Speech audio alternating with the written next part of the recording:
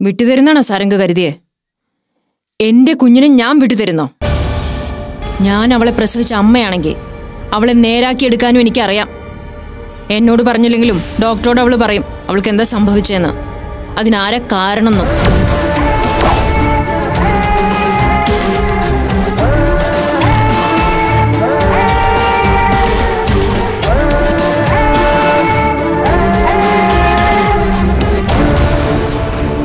സുമ പെട്ടെന്ന് ഭക്ഷണം റെഡിയാക്ക്. മോൾ ഉണർന്നാൽ ഞങ്ങൾക്ക് പോണം. ശരി മാഡം.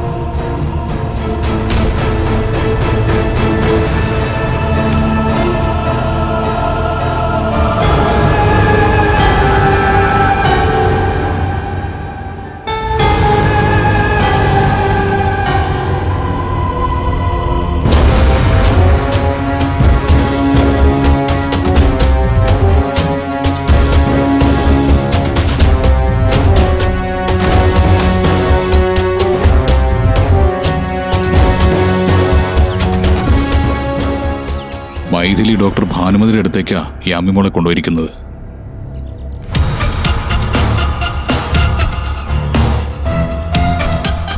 ഈ സിറ്റിയിൽ ഇപ്പോ സൈക്യാട്രിക്ക് ഏറ്റവും പേര് കേട്ട ഡോക്ടർ. അത് ഡോക്ടർ ഭാനുമതിയാ. അവരുടെ വിശേഷണങ്ങളൊന്നും എനിക്ക് കേൾക്കണ്ട.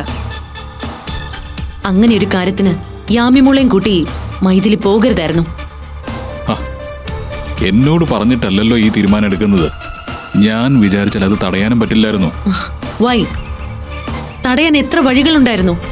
മകളെ കരുതിക്കൂട്ടി മൈഥിലി ഒരു മാനസിക രോഗിയാക്കുകയാണെന്ന് പറഞ്ഞ് തടയാമായിരുന്നു. സാരംഗിന്റെ അനുവാദം ഇല്ലാതെ മകളെ കൊണ്ടുപോവുകയാണെന്ന് പറഞ്ഞ് തടുക്കമായിരുന്നു.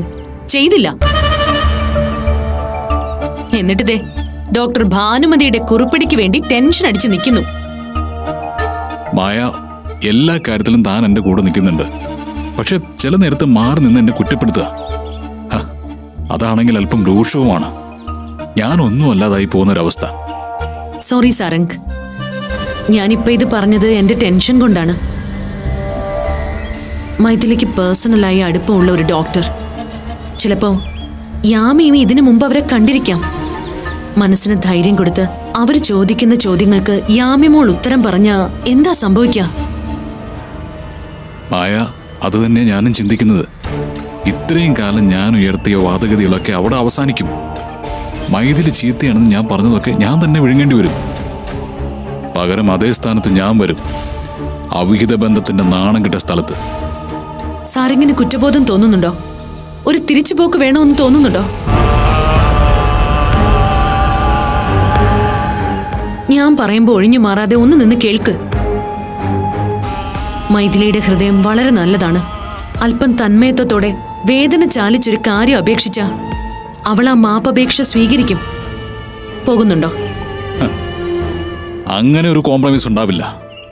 അവളോട് മാപ്പ് മാപ്പിരുന്നിട്ട് ഈ ഭൂമിയിലെ ഏറ്റവും വലിയ പട്ടം കിട്ടുമെന്ന് പറഞ്ഞാലും എനിക്കത് വേണ്ട. നമ്മൾ രണ്ടുപേരും രോഗികളല്ല. പക്ഷേ ഒരു ഡോക്ടറുടെ റിസൾട്ടിന് വേണ്ടിയാണ് ഇപ്പോഴത്തെ നമ്മുടെ ടെൻഷൻ. മൈഥിലി എതുക്കുട്ടൻ അച്ഛനമ്മ എല്ലാവരുടെ മുമ്പിൽ ഞാൻ പെട്ടെന്നൊരു നാണം കെട്ടവനായി മാറും. ഓരോ വാക്കുകളിലും അവർ എന്നെ അപമാനിക്കും. സാരംഗിനും അല്ലാത്ത പേടിയാ. മായ. ഒരു കുടുംബസ്ഥൻ ഇപ്പോഴും മനസ്സിലെവിടെയോ ഒളിച്ചുകളി നടത്തുന്നുണ്ട്. അധികം വൈകാതെ മായാ മഹേശ്വരിക്ക് നേരെ ഒരു ചാട്ടം ഞാനും പ്രതീക്ഷിക്കുന്നുണ്ട്. എന്താ? അങ്ങനെ ഉണ്ടാവോ? തനിക്കും താല്പര്യം ചോദ്യങ്ങൾ കൊണ്ട് എന്നെ വീർപ്പ് മുട്ടിക്കാനാ. ഹ്, ഈ കുടുംബം എന്ന് പറയുന്ന കൺസെപ്റ്റേ ശരിയല്ല. എന്തിന് വിവാഹം കഴിച്ചു? എന്തിന് കുട്ടികളുണ്ടായി? എന്തിനാണ് വെറുതെ ഈ സെന്റിമെന്റ്സ് ഒക്കെ? ചില കാര്യങ്ങൾ തുടങ്ങുന്നതിന് മുൻപേ നമ്മൾ ചിന്തിക്കണം. തുടങ്ങിക്കഴിഞ്ഞതിന് ശേഷം ആഴത്തിൽ ചിന്തിക്കുകയും വേണം. ചിലര് തുടങ്ങിപ്പോയതല്ലേ കണ്ടിന്യൂ ചെയ്യാമെന്നൊക്കെ കരുതും. പക്ഷേ ബുദ്ധിയുള്ളവര് തുടങ്ങിയതങ്ങ് മറക്കും. പുതിയ ചിന്ത എന്താണോ അതിന്റെ ഒപ്പം നടക്കും. ഇപ്പൊ സാരംഗ് പറഞ്ഞില്ലേ എന്തിന് വിവാഹം? എന്തിന് കുടുംബം? എന്തിന് കുട്ടികൾ? ഞാനും അതേ സ്റ്റാൻഡാണ്. സോ നമ്മൾ തമ്മിൽ ചേരും. നമ്മൾ തമ്മിലേ ചേരൂ. ഡോക്ടർ ഭാനുമതിയുടെ മുൻപിൽ നിന്നും മൈഥിലിക്ക് കിട്ടുന്ന റിസൾട്ട് എന്തു ആയിക്കോട്ടെ? സാരംഗ് ഈ സ്റ്റാൻഡിൽ തന്നെ ഉറച്ചു നിന്നാ. പിന്നെ ആര് പേടിപ്പിക്കാൻ? യാമിമോൾക്ക് പോലും ഒന്നും ചെയ്യാൻ സാധിക്കില്ല. ഞാൻ എന്റെ മനസ്സ് സ്ട്രോങ് ആക്കാൻ ശ്രമിക്കുക.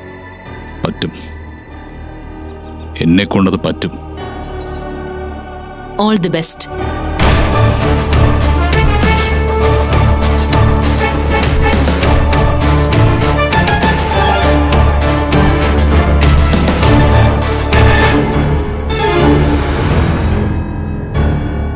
ഇടയ്ക്ക് പലപ്പോഴും നമ്മൾ സംസാരിക്കാറുണ്ടെങ്കിലും മൈഥിലി ഇങ്ങനെ ഒരു അവസ്ഥയിലാണെന്ന് ഞാൻ ഒരിക്കലും ചിന്തിച്ചില്ല.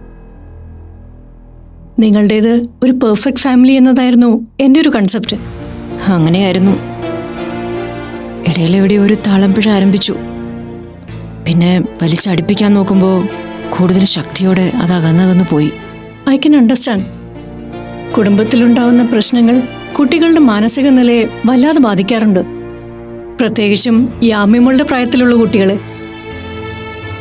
പക്ഷേ ഇവിടെ അതല്ല പ്രശ്നം. മായ മഹേഷരോടൊപ്പം പോകുന്നവരെ അവൾക്ക് ഒരു കുഴപ്പമില്ലായിരുന്നു. എന്നെ എതിർത്താണ് സംസാരിക്കാറുള്ളതെങ്കിലും ആ സമയം വരെ അവൾ സ്റ്റേബിൾ ആയിരുന്നു പക്ഷേ ഇപ്പൊ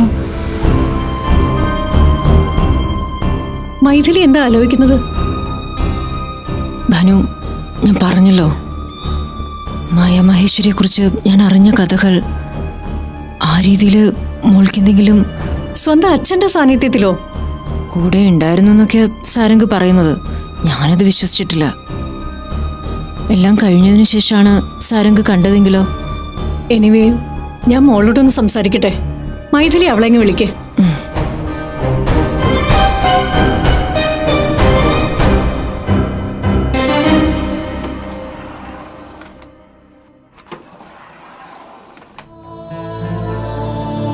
മോളെ മോൾ വാ. ഡോക്ടർ ആന്റിക്ക് മോളെ ഒന്ന് കാണാനാ. വാ.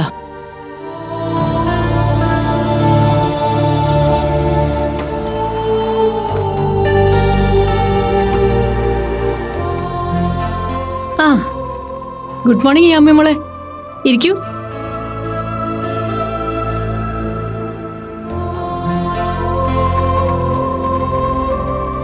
യാമി മോളുടെ അമ്മ നല്ലൊരു ഡോക്ടറാണ്. ഞങ്ങൾക്കൊക്കെ ഒരുപാട് ബഹുമാനമുള്ള ഒരാൾ. ആ അമ്മയുടെ ശാസനയും ഉപദേശവും മറികടന്ന് ഞങ്ങൾക്കൊക്കെ മുമ്പിൽ വന്ന് എന്നുള്ളത് അതിൽ കുറച്ച് ആശ്ചര്യമുണ്ട്. നമുക്ക് ഈ അവസ്ഥയൊക്കെ മാറ്റണ്ടേ? നമുക്ക് പഴയതുപോലെ നല്ല പ്രസരിപ്പോടെ നടക്കണ്ടേ? എന്താ വേണ്ടേ?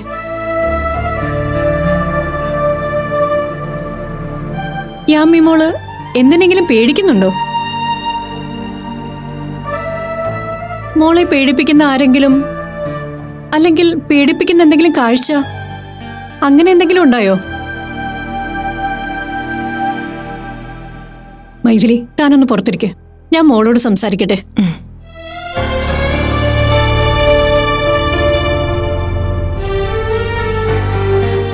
Yami professionally I am doctor പക്ഷേ തന്റെ അമ്മയുടെ നല്ല കൂട്ടുകാരിയുമാ. So you can call me aunty ഇപ്പോ അമ്മ ഇവിടെ ഇല്ല നമ്മൾ രണ്ടുപേരും മാത്രമേ ഉള്ളൂ. ഒരു കാര്യം ചെയ്യ്. അസുഖത്തിനെ കുറിച്ച് നമുക്ക് പിന്നീട് സംസാരിക്കാം. യാമി മോൾക്ക് ഏറ്റവും കൂടുതൽ ഇഷ്ടം അച്ഛനെയാണല്ലേ? അല്ല എനിക്കിഷ്ടമല്ല. വൈ അച്ഛന്റെ പെറ്റായിരുന്നല്ലോ മോൾ. പിന്നെന്താ ഈ മാറ്റത്തിന് കാരണം? കമോൺ ആന്റിക്കും മോൾക്കും എത്ര നേരം വേണമെങ്കിലും ഇങ്ങനെ സംസാരിക്കാം. മോൾ എപ്പോഴാണോ റിലാക്സ് ആവുന്നത് അപ്പൊ കാര്യങ്ങൾ പറഞ്ഞാൽ മതി. അമ്മയ്ക്ക് നല്ല ടെൻഷനുണ്ട് because she loves you very much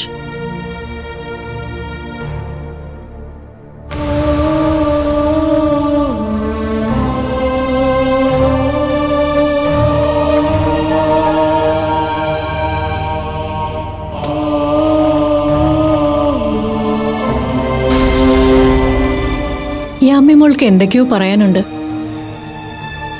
Take your own time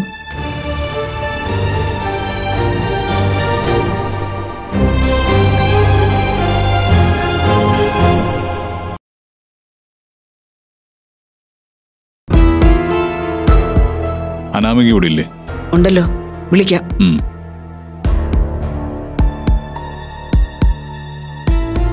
എന്താ സാരംഗ് എനിക്ക് അനാമയോട് ഒരു കാര്യം സംസാരിക്കണം. താനിരിക്കെ. എന്താ വല്ലാത്തൊരു ടെൻഷൻ പോലെ? എനിക്കുള്ള ടെൻഷൻ ഞാൻ ക്രിയേറ്റ് ചെയ്യുന്നതല്ല. വളരെ അടുത്ത ചിലർ ഉണ്ടാക്കി അതെടുത്ത് എന്റെ തലയിൽ വെച്ച് തരുന്നതാ. എന്താ സാരംഗ്? അനാമികയോട് എന്റെ ഫാമിലി മാറ്ററിൽ ഇടപെടാൻ പാടില്ലെന്ന് രണ്ടോ മൂന്നോ തവണ ഞാൻ തന്നെ വാൺ ചെയ്തിട്ടുണ്ട്. ഇല്ലേ? ഉണ്ട്. പക്ഷേ മൈഥിലി എന്ന എന്റെ ഫ്രണ്ട് ചില സഹായങ്ങൾക്ക് എന്നെ വിളിക്കാറുണ്ട്. ഞാൻ പോവാറുണ്ട് എന്റെ ഫ്രണ്ടിന്റെ കാര്യത്തിൽ എനിക്കത് ചെയ്യാലോ? അങ്ങനെ നീ ചെയ്തൊരു സഹായത്തിന്റെ കാര്യ എനിക്കറിയേണ്ടത്. സാരംഗ് എന്താ കാര്യം? കെ ടി കെ എന്ന ബിസിനസ് സാമ്രാജ്യത്തിന്റെ ഉടമ മിസ്റ്റർ ജോസ്. മൈഥിലി അനാമികയും കൂടി അയാളെ പോയി കണ്ടിരുന്നോ? പോയി കണ്ടിരുന്നു. ഉദ്ദേശം? അതിപ്പോ നമ്മൾ തമ്മിൽ പറയേണ്ട കാര്യമുണ്ടോ? ഉണ്ട്. തളർന്നു കിടക്കുന്ന ആ മനുഷ്യൻ പറഞ്ഞു കൊടുത്ത ഏതോ കള്ളക്കഥയുടെ പേരിൽ മൈഥിലി ഇപ്പോ എന്നെ വേട്ടയാടിക്കൊണ്ടിരിക്കുക. എന്നെ മാത്രമല്ല എന്റെ ബിസിനസ് പാർട്ണറെ ആരാ നിങ്ങൾ അയാളുടെ മുന്നിലേക്ക് എത്തിച്ചത്? സാരംഗ് നമ്മൾ എല്ലാവരുടെയും കയ്യിൽ മൊബൈലുണ്ട്. അത്യാവശ്യം പുറത്ത് എല്ലാവരുമായിട്ട് കണക്ഷനും ഉണ്ട് ഇക്കാലത്ത് ഒരാളെ കുറിച്ച് അന്വേഷിക്കാനും കണ്ടുപിടിക്കാനും അത്ര വലിയ ബുദ്ധിമുട്ടൊന്നുമില്ല. ഓക്കെ. അയാൾ എന്താ നിങ്ങളോട് പറഞ്ഞത്? അറിയണമെന്ന് നിർബന്ധമാണോ? അതെ. അയാളെ ചതിച്ചത് മായ മഹേശ്വരിയാണ്. അയാളെ കുടുംബം ഇല്ലാതാക്കിയത് മായ മഹേശ്വരിയാ. അയാളെ മകളെ കൊന്നതും മായ മഹേശ്വരിയാ. ഇത്രയൊക്കെയാ പറഞ്ഞത്. ഭ്രാന്ത്. ഉണ്ടായിരുന്ന ബിസിനസ് സാമ്രാജ്യം നഷ്ടപ്പെട്ടപ്പോ അയാൾക്ക് തലയ്ക്ക് വെളിവില്ലാണ്ടായി. അത് കേട്ടിട്ട് രണ്ടുപേരും കൂടി അംഗത്തിന് ഇറങ്ങി തിരിച്ചിരിക്കുക. രഞ്ജിത്തെ ഞാൻ തന്നോട് പറഞ്ഞിട്ടില്ലേ? അനാമികയെ താൻ നിയന്ത്രിക്കണമെന്ന്. അനാമികയും മൈഥിലിയും ഫ്രണ്ട്സ് ആക്കിയത് നമ്മളല്ലേ? ഇന്ന് മുതൽ ഫ്രണ്ട്ഷിപ്പ് പാടില്ല എന്ന് പറയാൻ പറ്റുമോ? മൈഥിലി മോളെ കൊണ്ട് ഡോക്ടറെ അടുത്ത് പോയിരിക്കുക സൈക്കാട്രിസ്റ്റിനെ കാണാൻ. അതൊരു തന്ത്രമാ പോയിരിക്കുന്നത് മൈഥിലിയുടെ കൂട്ടുകാരിയുടെ അടുത്തേക്കാ. അവിടെ അവർ എന്റെ മോളെ ബ്രെയിൻ വാഷ് ചെയ്യും. എനിക്കെതിരെ സംസാരിപ്പിക്കും. അങ്ങനെ എന്തെങ്കിലും സംഭവിച്ചു പോയാലുണ്ടല്ലോ അനാമികയെ. നല്ല പേടിയുണ്ടല്ലേ? എന്തിന്? എന്നാ പറ. പോയ സ്ഥലത്ത് വെച്ച് യാമി മോൾക്ക് എന്താ സംഭവിച്ചത്? പ്രതിഷേധിച്ചും കരഞ്ഞും കാൽ പിടിച്ചും മൈഥിലി അത് സാരംഗിനോട് ചോദിക്കാൻ തുടങ്ങിയിട്ട് നാളുകൾ ഒരുപാടായില്ലേ? പറഞ്ഞോ. പിന്നെ കൂട്ടുകാരിയായ സൈക്കാട്രിസ്റ്റിന്റെ അടുത്ത് കൊണ്ടുപോയി സാരംഗിനെതിരെ യാമി കൊണ്ട് പറയിക്കേണ്ട കാര്യമുണ്ടോ? യാമി തിരിച്ചു വന്നത് തന്നെ സാരംഗിനോട് ദേഷ്യപ്പെട്ടുകൊണ്ടല്ലേ? എന്തായാലും അതിന്റെ കാരണം മൈഥിലി അല്ലല്ലോ. ഞങ്ങൾ പോയ സ്ഥലത്ത് ഒന്നും സംഭവിച്ചിട്ടില്ല. അതിനുവേണ്ടി അവൾക്ക് ചികിത്സയുടെ ആവശ്യമില്ല സാരംഗ് സാരംഗ് പറയുന്നത് പതിനെട്ട് വയസ്സ് തികഞ്ഞിട്ടില്ലാത്ത സ്വന്തം മോളെ കുറിച്ചാ. ചിറക് മുളച്ചിട്ടില്ലാത്ത പ്രായം. ഇപ്പോഴും അവളെ സംരക്ഷിക്കുന്നതിലല്ല. മായാമഹേശ്വരെ സംരക്ഷിക്കുന്നതിലാ നിങ്ങൾക്ക് തിടുക്കം. യാമി മോൾക്ക് എന്ത് സംഭവിച്ചു എന്നല്ല നിങ്ങൾക്ക് അറിയേണ്ടത് മായാമഹേശ്വരിക്ക് കോട്ടം തട്ടുമെന്നുള്ളതാ. കേട്ടിട്ട് എനിക്ക് പുച്ഛം തോന്നുന്നു. എന്റെ ഫ്രണ്ട്സ് എന്റെ പാർട്ട്നേഴ്സ് അതൊക്കെ എനിക്ക് പ്രധാനപ്പെട്ട കാര്യങ്ങളാ. നീയും അവളും കൂടി എന്താ വിചാരിച്ചിരിക്കുന്നേ? യാമിമോൾ എന്തെങ്കിലും വിളിച്ചു പറഞ്ഞാ എന്നെയും മായയും അങ്ങ് ഇല്ലാതാക്കി കളയാവുന്നോ? കാത്ത് കാത്തിരുന്ന് ഒരു കച്ചിത്തുരുമ്പ് കിട്ടിയിരിക്കുക നിങ്ങൾക്ക്. അതിൽ പിടിച്ചു കയറി സാരംഗിന്റെ തല കൊയ്യാൻ വരണ്ട. അനുഭവിക്കും. അതിന്റെ കാരണക്കാരൻ ഞാൻ തന്നെയാവും. ഭീഷണി കൊള്ളാം. പക്ഷെ സ്വയം ഒന്ന് അനലൈസ് ചെയ്ത് നോക്കണം. മൈഥിലിയുടെ കയ്യിൽ നിന്ന് സ്വന്തം മകളെ തട്ടിപ്പറിച്ച് അവൾക്ക് എതിരായിട്ട് നിർത്തുമ്പോ അറ്റ്ലീസ്റ്റ് അവളെ സംരക്ഷിക്കാനുള്ള ചങ്കൂറ്റെങ്കിലും വേണമായിരുന്നു അവളുടെ അച്ഛന്. അല്ലാത്തവരെ സംസാരിക്കാൻ നിൽക്കരുത്. മൈഥിലിക്ക് എന്ത് സഹായം വേണമെങ്കിലും ഞാൻ അവളുടെ കൂടെ പോകും. അവൾ എന്റെ ഫ്രണ്ടാ അതിപ്പോ സാരംഗ് ഭീഷണിപ്പെടുത്തിയാലും പോവും രഞ്ജിത്ത് ഉപദേശിച്ചാലും പോയിരിക്കും. അപ്പൊ പിന്നെ ഞാൻ ഇറങ്ങട്ടെ രഞ്ജിത്ത്? കാലാകാലങ്ങളായിട്ട് തുടർന്നു പോകുന്ന ഒരു സൗഹൃദം നമുക്കിടയിലുണ്ട്. പക്ഷേ എന്റെ ജീവിതത്തിൽ തടസ്സമായി ആ സൗഹൃദത്തിൽ ആരെങ്കിലും ഒരാൾ വന്നാൽ പഴയ ബന്ധമോ പുതിയ കമ്മിറ്റ്മെന്റ്സോ നോക്കാതെ ഞാൻ എന്തെങ്കിലും ചെയ്തു പോവും.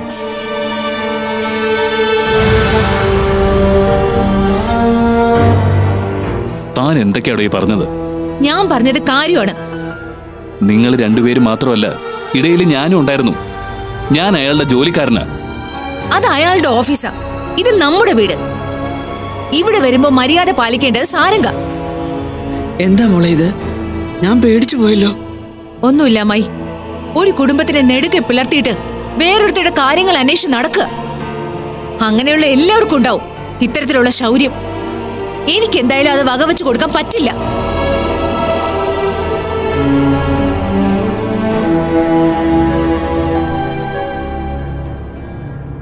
അവൾ പറയുന്നൊക്കെ കാര്യമായി അത് ആ വിഷയത്തിൽ ഞാൻ അധികം സംസാരിക്കാതിരുന്നത്. പക്ഷേ ഞാൻ കൈനീട്ടി ശമ്പളം വാങ്ങുന്ന ഒരാളുടെ മുന്നിൽ എനിക്ക് ഇങ്ങനെ നിൽക്കാനല്ലേ പറ്റൂ? അമ്മായിക്ക് ഇതിനെപ്പറ്റി ഒന്നും അറിയില്ല. പക്ഷെ ഒരു കാര്യം പറയാം. സത്യം അറിയാതെ ഊഹിക്കരുത്. മനസ്സിലാക്കാതെ ഒന്നിനെയും വിധിക്കരുത്.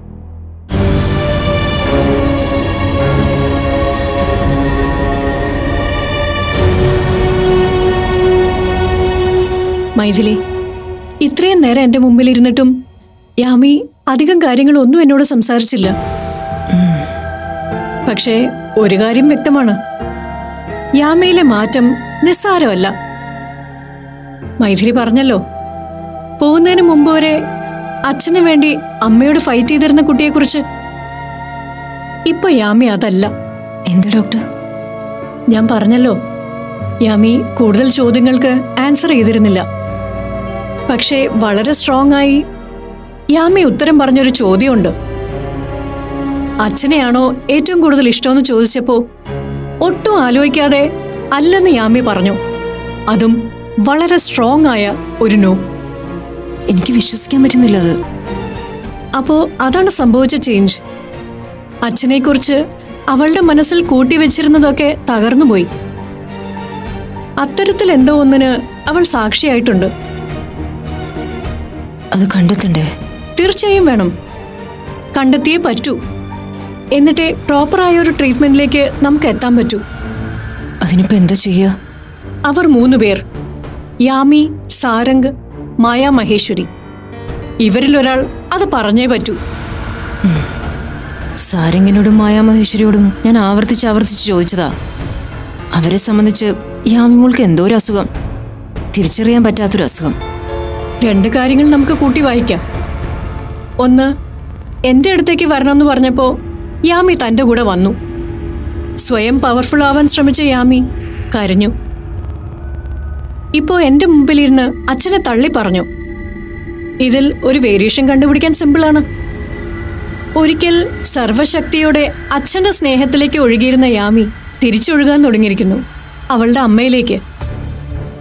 എന്നെ ആശ്വസിപ്പിക്കാൻ പറയുന്നു അല്ലല്ലോ ഇതൊക്കെ നോ എന്റെ എക്സ്പീരിയൻസിൽ എനിക്ക് ഇങ്ങനെയാണ് തോന്നുന്നത്. ആരിൽ നിന്ന് ഉത്തരവൊന്നും ലഭിച്ചില്ലെങ്കിലും മൈഥിലി അവളെ നന്നായിട്ട് കെയർ ചെയ്യണം.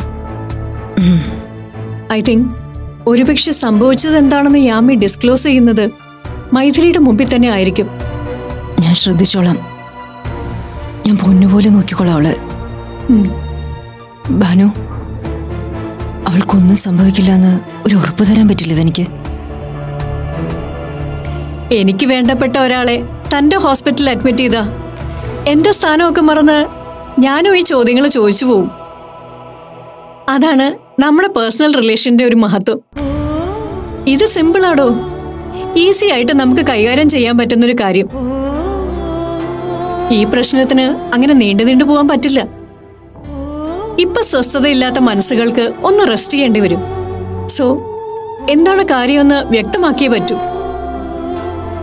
എന്നാ ഞാൻ അവളെയും കൂട്ടി പോയിക്കോട്ടെ?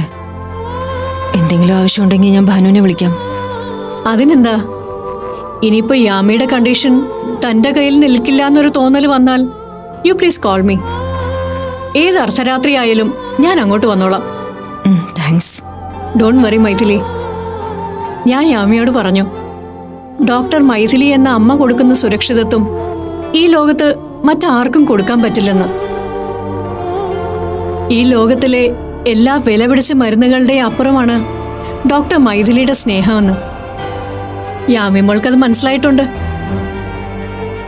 എന്നാ പിന്നെ ഇറങ്ങാൻ നോക്കിക്കോളൂ. മോൾ കുറെ നേരമായിട്ട് തനിച്ചിരിക്കല്ലേ എന്നാ ശരി. ഞാനും വരാം.